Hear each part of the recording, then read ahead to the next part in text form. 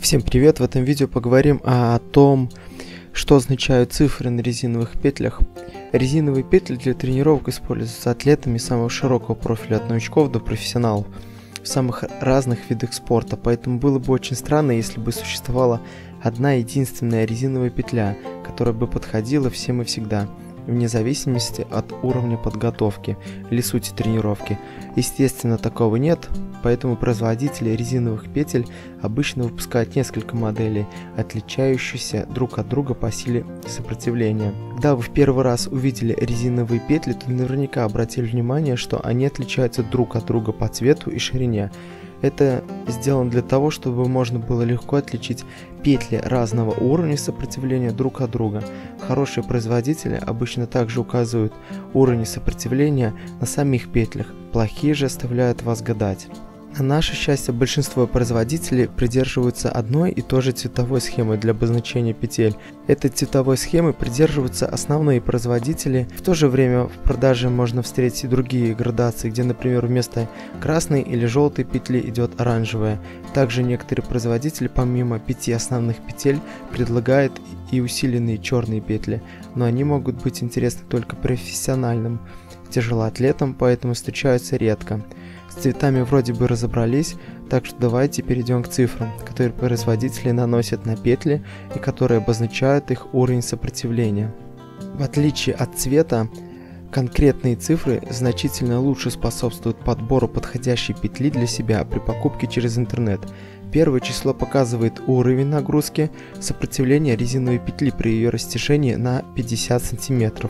Второе число показывает уровень нагрузки то есть сопротивление резиновой петли, при ее растяжении на 150 см.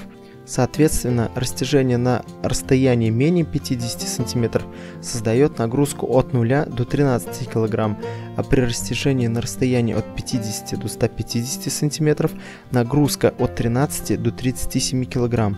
Поскольку речь идет о резиновой петле, то нагрузка будет увеличиваться плавно. При этом важно понимать, что цифры на петлях указывают именно уровень нагрузки сопротивления самой петли. Многие новички, которые хотят научиться подтягиваться, ошибочно трактуют эти значения как величину веса, на который рассчитана петля. Но на самом деле, даже если вы весите 100 кг и встанете на петли с коэффициентом 13-37 и растянете ее на 150 см, то она не порвется. Просто уровень поддержки, который она будет оказывать, не будет превышать 37 кг. В то же время многие производители не рекомендуют растягивать резиновые петли более чем на 200 см, то есть общая длина петли в растянутом состоянии не должна превышать 300 см, потому что это как раз создает вероятность разрыва самой петли. Также хотелось бы подчеркнуть, что подбирая резиновую петлю для себя, вы должны понимать, что функционал этой резиновой петли очень большой, и она используется практически во всех э, спортивных направлениях от борьбы, бокса, восточных единоборств, фитнеса. И вы должны понимать, когда вы подбираете себе резиновую петлю, четко должны представлять, что вы с ней будете делать, что тренировать и для чего вы ее себе выбираете. Потому что покупая э, резиновую петлю с большим сопротивлением, э, можно навредить технике исполнения и отработки каких-либо приемов э, в единоборствах. Там используется резина с маленьким сопротивлением для того, чтобы нарабатывать технику. И наоборот, если вы работаете в каком-то силовом режиме, то маленькая резина с маленьким сопротивлением вам мало чем поможет в силовых каких-либо элементах, тренировках и так далее.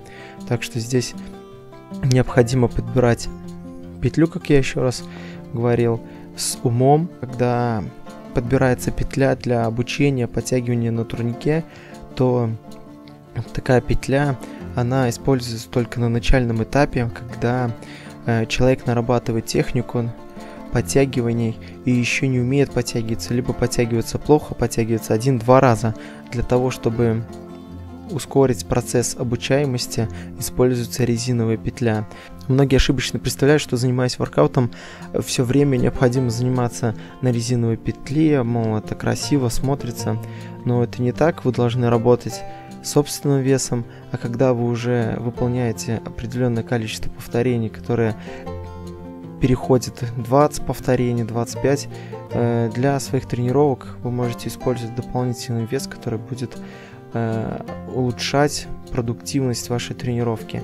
С резины нету необходимости тренироваться круглогодично, если вы учитесь подтягиваться, там, например, два года, то есть это не прогресс ваш, и это не даст вам э, быстрого прогресса и увеличения какой-то силы, массы и результатов. Всем пока. Если видео было интересно, подписывайтесь на канал, ставьте палец вверх, смотрите следующие выпуски.